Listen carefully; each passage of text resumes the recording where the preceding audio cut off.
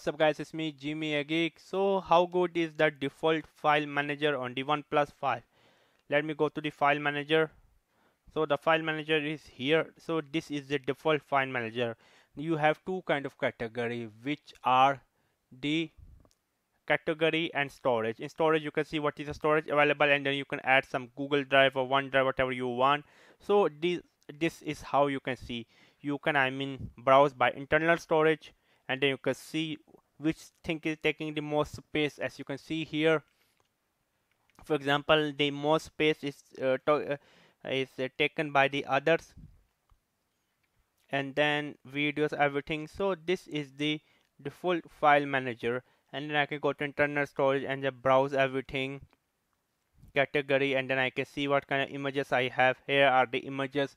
So I think so I can easily say that the OnePlus 5 file manager is one of the best file manager to be honest with you you can have. I'm really liking the file manager to be honest with you. I'm really liking the file manager.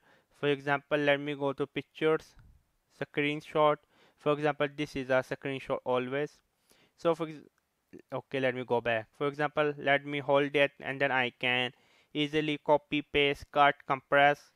Yeah I mean the file manager is having a lot of uh, stuff inside to be honest with you. I'm really happy with the file manager. Make sure to subscribe and bye